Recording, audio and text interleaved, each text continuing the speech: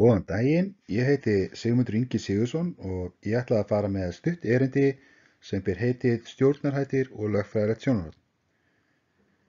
Svona til að gefa ykkur smá kynning á mér, þá er ég útskriðað með BA og meistragráðu í lögfræði frá Háskóla Íslands og í vor lauk ég meistranámi í verkefnastjórnun frá viðskiptafræðdeildinni. Þetta erindi er inn upp úr verkefni sem ég var að vinna að í sumar á samt Tresti og Bryant Murray. Verkanið fórst í því að skoða stjórnætti fyrirtækja út frá lögfræðilegu sjónarhóttni og útbúa fræðilegt yfirlit um greinar sem gefnar hafið út um viðfónsefnið. Verkanið var mjög áhugavert, endaði fræða sig stjórnarhættir í mikillir þróun og aukinn skilningur á viðfónsefninu frá lögfræðilegu sjónarhóttni því mikilvægur til þess að hægt sé að festa betur hendur á slíka þróun. Erindið er byggt upp þannig að fyrst verður skoðað hvernig hugtakið er skilgjönd með að fræðmenna á sviði lögfræði.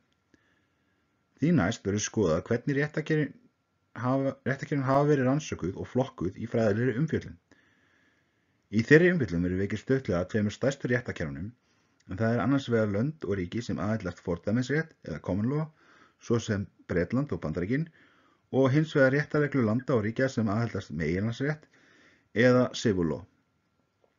Í lokin verður svo fjalla stöðlega um hugmyndi fræðmanna á sviði lögfræði um mögulegan samruna réttareglna milli landa á þessu sviði. Fyrsta verkefnið var að kanna hver væri lögfræðileg skilgreining á hugdækinu stjórnarétti fyrirtækja. Ljóst er að erfitt er að gefa eina algjörða skilgreiningu á hugdækinu, enda er það margra þætt. Einan nokkra réttakjara hefur það til dæmis enga lagalega merkingu. Marga skilgreiningar eru til, en almennt er það hort í skilgreiningar Sir Adrian Cadbury sem setta fram í Cadbury skýrslunni frá árunni 1992, en þar lýsir hann hugdækinu svo. The system by which companies are directed and controlled. Eða lauslega þýtt, stjórnarættir er kerfið sem fyrirtæki stiðjast við þegar kemur að stefnu þess og stjórn. Öllum þessum fjölmöku skilgreiningurum má síðan í raun skipta í tvo flokka.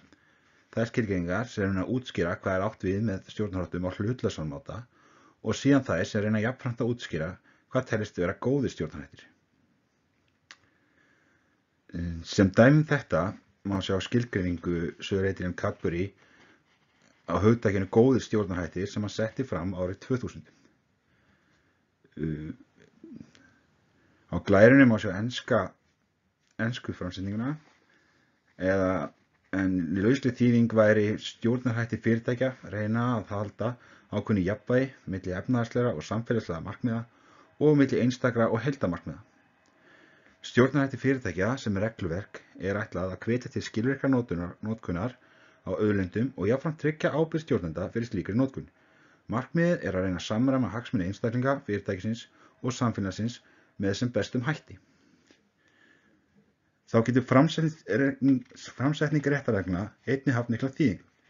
Þannig geta réttareglur verið setta fram í þeim tilgangi að koma í veg fyrir hegðun eða ex ante. Réttareglur geta einni verið setta fram þannig að refsing á sér stað ef brotið er á reglunni. Til þess að nálgast viðfónsefni hafa fræðimenn reynd að flokka saman svæði og laga fjölskyldur. Einn frægasta rannsóknin sem gerð hefur verið er rannsókn sem framkvæmt var af Laporta og fleirum árið 1998. Laporta og félagar töldu að skipta mætt upp þjóðum og svæðum eftir löggjöf. Þannig værum að ræða tvö megin réttakerfi, fordæmisrétt eða komalóð og síðan meginhansrétt eða sifulóð. Þannig væri ákveðin samir lenginni í löggjöf þessara ríkja sem hægt er að byggja á. Til er nokkra fleiri flokkanir en umfyllum það fellir utan þess að stutta erindis. Þau ríki sem aðhellast fordæmisrétt eru Breitland og fyrir nýletu Breitland, svo sem Bandaríkin og Ástralja. Þessi ríki aðhyllast ríka vend fyrir minnulötaeigendur í félögum.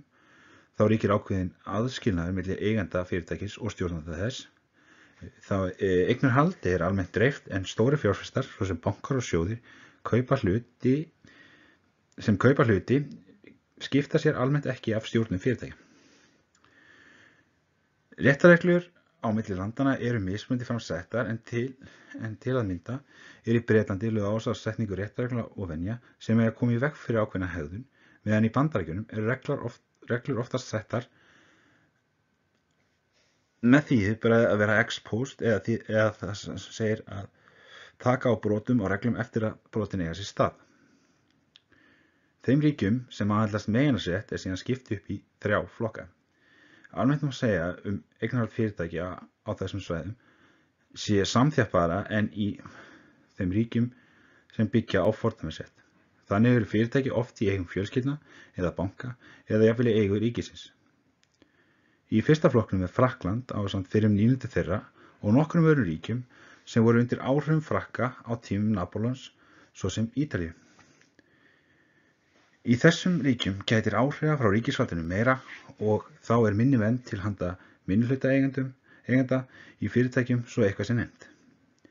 Í öðrum flokknum er svo Þískland á samt þískumælandi löndum. Þá er þýst afbreyði af stjórnarháttum jáfnframt víða notað í Ásíu. Uppbygging stjórna á þessu svæði er með þeim hætti að tala um tveggja þjótt stjórnakerfi. Þessar nefndir eru annars vegar er yfirstjórn eða supervisory board. Í henni að sæti nefndamenn sem annarkost eru kostnir af hlutum eða starfsmönnum fyrirtækis. Þessi nefnd ræði sína stjórn félagsins og hefur það hlutverk af eftirlit með störfum hennar. Ástæðan fyrir þessu kerfi er svo að starfsmenn eru taldi vera líkil hagsmöðaða fyrirtækisins og því ætti þeir að vera með í ráðum þegar kemur að stjórnun þess. Að lókum er svo Norðurland en svo lögjöf þótti ofar ábyggjum þýskum lögum, lögum að, til þess að hægt væri að setja hana í sama flokk.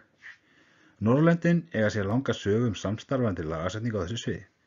Lögjöfin á sér djúpar rætur í þýskri og franski lögjöf en hefur orð, jáfnframt orðið fyrir umfráðsvölum áhrifum frá engisasnenski lögjöf. Allt frá síðan heimstöldinni höfðu verið upp í hugmyndir um saminlega lögjöf varandi fyrirtæki á Norrlöndum og það var úr árið 1970 að samþýtt voru náttúrulega samhljóða lög, um fyrirtæki á Norrlöndum. Með tímanu hefur þó þessi mikla samvinna minkað og jafnframt hefur áhrif að frá samstæði á sviðið efbrúðsamfantisins verið mikil.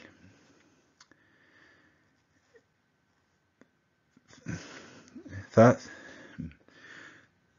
Það geta verið, verið þó verið, því verið mismöndi reglum með landa sem áhverðin skoða en í þessu er þetta verið áhaldans fremur sett á það sem er sammeilegt og fellur það því utan, fyrir utan umfang þessa stutta erindis.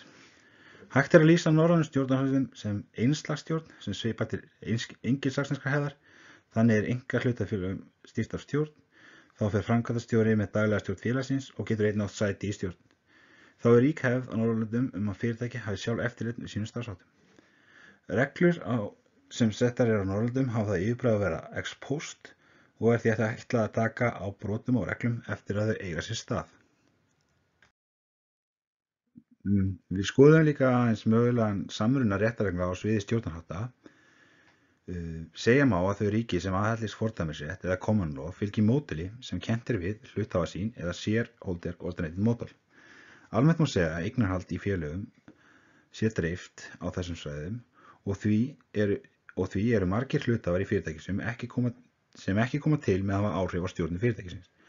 Því sé markmið, því sé það markmið stjórnunda fyrirtækja að hámarka hagnað fyrir hönd hlutafa sinna. Á hinbúinn má svo segja að ríki sem aðeins meginasrétt eða civil law fylgji mótili sem kentir við hagsmunaðala sín eða stakeholder oriented model. Eignarhaldi í fyrirtækjunum er jafnvægt samþjappaðra og, og oft, oftar en ekki eru fyrirtæki alfarið eða stór hluta í, hluta í eigur samaðila hvort svo sem það er fjölskylda, banki eða samstæða fyrirtæki. Þau fyrirtæki sem aðhyllast hagsmunnaðala sín reyna að taka tillit til allra hagsmunnaðala svo sem viðskiptafinna, starfsmanna og svo framvegs. Þá geta þau fyrirtæki forgangsraða hagsmunnaðala sínum og þannig betur mætt, mætt væntingum þeirra. Það má segja að kenning bandarækjumannana, Burl og mín frá árið 1932 um aðskilna eiganda fyrirtækis og stjórnum þess hafi haft mikil áhrif á umræðum samræðinguna en samkvæmt henni átti hlutafar að hafa takmarka hlutverk þegar kemur að stjórnum fyrirtækja. Slíkt var eðlið þróun þess að eignahald væri dreift og í raun gerir lög, lögjöf um fyrirtæki bandarækjuna það verkum að slíkt gerðist. Þar með hefur stjórn og stjórnandi fyrirtækja meiri völd og möguleika til þess að stýra fyrirtækjum að sinni hentisemi og hámarka hlut, hlutafana. Í þessu ljósi væri, væri mikið vegt að tryggja réttsægi, rétt hlutafa til þess að kjósa og skýra ábyrð stjórnar og stjórnenda fyrirtækja. Í kringum 1990 spurði fram kenningar um mögulega samruna réttaregla á, á, á sviði stjórnarhalda, millir landa. Þar sem eins og áður segir er hægt að skipta svæðunum upp í tvent út frá dreifðu eignarhaldi og samþjöpuðu eignarhaldi vöknuðu spurningar með að fræðmenn á sviði lögfræði hver var einnkynni slíka kerfa og jafnfram það hvort yfirvægandi var í samröðum við réttareglan þessu sviði. Þá var jafnfram mikið deilt um hvort annað réttakerfið myndi í raun taka yfir hitt. Í þessu samiki er áhugavert að skoða þrjár kenningar sem sett voru fram á tíundarinn. Fyrstu kenninguna, fyrsta kenningi sem nefndi er, er kenning Easterbrooks og Fischel sem sett það fram árið 1991 sem kalla mætti hagkvæmsnálgun eða efficiency approach. Sangat henni myndi öll fyrirtæki taka upp á stjórnskifan sem byggðu á hlutaða sín. Enda væri hún ánanguristuríkust í þeim skilningi að hún skapaði mestan hagnað fyrir hlutaða fyrirtækisins. Þetta byrjuð þeirra því að, að til þess að hægt var að fjármagna stór fyrirtæki og verkefni þeirra er til að koma fjárfæsting sem einungis væri mögulegt að fá frá mörgum fjárfæstum. Næsta kenning er kenning Marka Ró sem kenna mætti við stjórnmál og vegtrið eða Politics and Path Dependency Approach að hans áldi myndu stjórnmála öll í bandaríkjónum áallt koma fram með lögjöf sem myndir þetta hömlur á möguleika fyrirtækja með samþjöpuðu eignarhaldi til þess að ná fótverstu á markaði. Slíkt fyrirglámlag tryggði í rauninni dreift eignarhalda fyrirtækjum. En að móti þessu væri svo innri uppbygging fyrirtækja en að sjálf sem kemi vekk fyrir að dreift eignarhald myndi ná fótverstu. Með því að líta til þess að tvekja þátt að væri ljóst að bæði gerfin væri komið til að vera og myndi vera þannig til, fram, til frambúðar. Þriðja og síðasta kenningin er kenning John Coffey en hann kom fram með þá tilgáttu að vend minnulhutaðegenda tilgáttu um vend minnulhutaðegenda á 1909 sem stundum hefur verið köll, einnig verið kölluð Law Matters. Samkvæmt þessari kenningu ætti rík vend á réttindum minnulhutaðegenda í, í, í, í réttakerfum þar sem dreikt, væri dreift eignarhald að skapa þeim ákveði mótvægi við réttindi minnulhutaðegenda. Það myndir svo hvetja þá til þess að halda í hluti í fyrirtækjum sínum.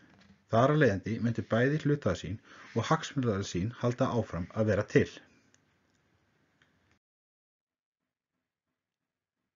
Í kjölfarið þessu kom síðan fram grein frá Hansmann og Krakmann árin frá árið 2001 þar sem þeir þettu fram kenningu eða spátum um að mótel sem styttust við hlutaða sín myndi hafa yfirbyrði gafkast öðrum kerfum og taka yfir á heimsvísu.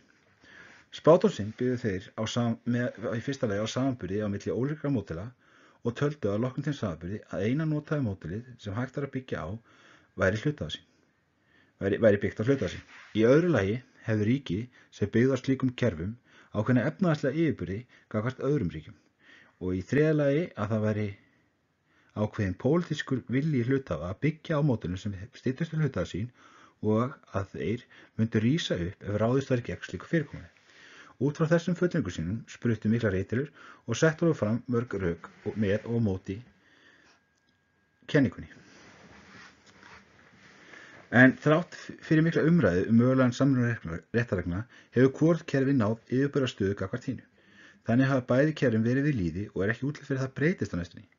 Þróunin er samt hægfæriða í átta samruna en það hefur til dæmis, samt, samt, hefur til dæmis eignarhald fyrirtæki í löndum sem aðallast fordæmisrétt verið að færast meðri áttina að samþjöpuðu eignarhaldi en dreifðu með til dæmis auknum kaupum lífyrsjóða í bandaríkjum með hlutafélugum á hlutabrifum í félugum á markaði. Þessi stofnfjárfæstar hafa sér reynd að hafa meiri áhrif á stjórn fyrirtækjana en það geta það gert í krafti eignarhaldsins. Að samanskapi hafa Evropalöndin verið að færast nær hvert öðru með samstarfi innan Evropasambansins. Þannig hafa verið gerða lagabreitingar sem gilda öllu öðruska efnaðarsæðinu og samræma þannig lögjöf. Hinga til hafa þessar lagabreitingar verið gerðar vítt og breytt um Evropalögjöfuna og því hefur verið erfitt að festa hendur á þau, á þau áhrif sem þær hafa haft. Í, í nýluðu minnisblæði frá Europasambandinu er talað um það markmið Europasambansins sambandsins að koma á fót sérstaklega löggjá á þessu sviði og samina þannig lagakvæðin undir einn hatt. Er slíkt líklegt til þess að stöðla frekar í samræmingu regluna Europafþjóðuna að mati höfunda? Þá hafa verið uppi margskonar hugmyndir um möguleika á samræmingu og útfællum en of langt er er að fara út í þá sálma í þessu stutta erindi. Helstu niðurstöðu erindisins er að til eru nokkur réttakjöri sem öll hafa sín einnkynni og styrklíka en segja má að stað, séu staðar um að mögulega getur orðið samrunni með þessar kjærfa. Hvernig slíku samrunni kemur til með að líta út verður svo tíminn að leiða í ljós. Að, að lókum vil ég bara þakka þeim sem á hlýttu. Takk fyrir mig.